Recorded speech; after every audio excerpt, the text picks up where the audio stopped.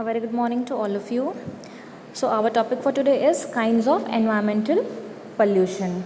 So, the pollution is an undesirable changes in the physical, chemical, and biological characteristics of air, water, and the soil that harmfully affect the life and create the potential hazards for the living organisms.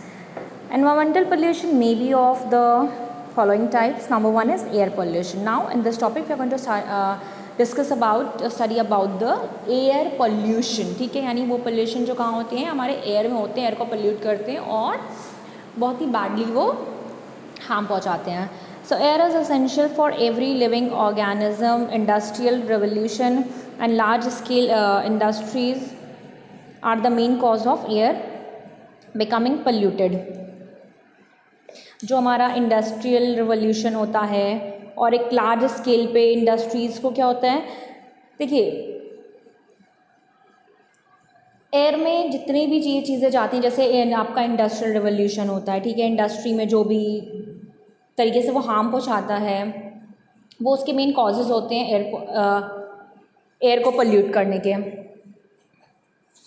The air pollution result when its natural composition is disturb either by natural or man-made sources or activities or both there is no doubt that air has never been pure because some gases such as sulfur dioxide carbon monoxide hydrogen dust uh, emissions from uh, volcanoes etc are regularly added in air देखिए अब air pollution में क्या है चाहे वो man made हो चाहे वो नेचुरल हो वो क्या करता है वो कहीं ना कहीं हार्म पहुंचाता है कहीं ना कहीं वो पोल्यूट करता है एयर को बहुत सारे गैसेस होते हैं और जो गंदा करती हैं पोल्यूशन पोल्यूट करती हैं एयर को ख़राब करती हैं और उसी तरीके से वॉलकैनो वगैरह होता है, ये सारी चीज़ें क्या करती हैं डिस्टर्ब करती हैं।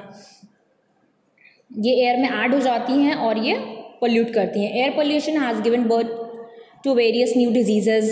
While we suffer from air pollution syndrome, APS, we also feel headache, sleeplessness, and burning uh, sensation in our eyes. Our digestive system also becomes ruined अब ऑब्वियस सी बात है this is very very obvious कि अगर air pollute होगा तो वो कहीं ना कहीं हमें उसमें सफ़र करना पड़ेगा कहीं ना कहीं बहुत सारे डिज़ीज़ आएँगे फॉर एग्ज़ाम्पल जैसे हेडेक हो जाता है स्लीपलेसनेस हो जाती है बर्निंग सेंसेशन हो जाते हैं आँखें आँखों में जलन होने लगती है ठीक है?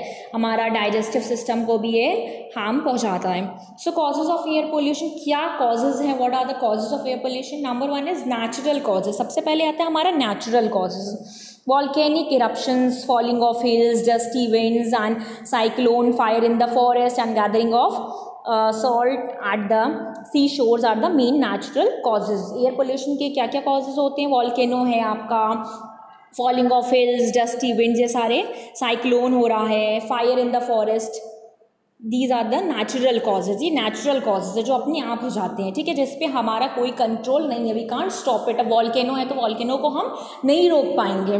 Number two is man made causes कुछ होते हैं जो मैन मेड कॉजेज होते हैं. Man made causes are mainly visible in the urban areas में ये ज़्यादा मिलते हैं, ज़्यादा दिखाई देते हैं. Our uh, rural areas have also not remained untouched of environmental pollution. Our cities have become full of industries. Now they are covering the land in rural areas as well. The families and villages still depend upon wood and cow dung for cooking food in the kitchens अब क्या हो रहा है कि धीरे धीरे development बहुत ज़्यादा बढ़ता जा रहा है। आपकी इंडस्ट्रीज़ बहुत ज़्यादा हो रही हैं, उसमें बहुत ज़्यादा काम हो रहा है और अर्बन एरियाज़ रूरल ये सारे एरियाज़ क्या हो रहे हैं, कहीं ना कहीं ये सारे इसमें आ जाते हैं हम, ठीक है? और ये एयर को हमारे पोल्यूट करते हैं। जैसे विलेजेस को भी अब किस चीज़ की ज़रूरत है? विलेजेस भी डिपेंड है वुड पे काउ डंग पे कुकिंग अपना खाना बनाने के लिए। What are the measures to check air pollution क्या मेजर होता है जिससे हम इसको चेक कर सकते हैं? We can curb air pollution of following measures are taken establishment of industries away from residential areas industry को रेसिडेंटल जहाँ पे आप रहते हो, उन एरिया से दूर बनाया जाए। ठीक है? Heavy plantation in industrial area heavy plantation करिए। Fitting of pollution control devices in the chimneys of the factories fixing of chimneys at highest point chimney वगैरह लगाएँ अगर हम confiscating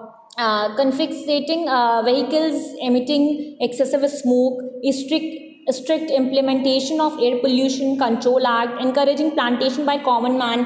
These are the measures मतलब हम इंडस्ट्रीज़ को दूर बनाए रेसिडेंशियल एरिया मतलब जहाँ हमारा रेसिडेंट होता है, जहाँ हम रहते हैं उससे दूर। और तरह तरह के नो चिमनीज़ लगाएँ पोल्यूशन को कंट्रोल करने के डिवाइसेस को फिट करें स्मोकिंग वगैरह को हटाएँ, ना करें वहाँ पर, और कम करें या ख़त्म कर दें। और कुछ कंट्रोल एक्ट्स हैं और इसके अलावा प्लांटेशन करें। So these are the measures so I hope you can understand this topic या pollution easily that's all for today thank you so much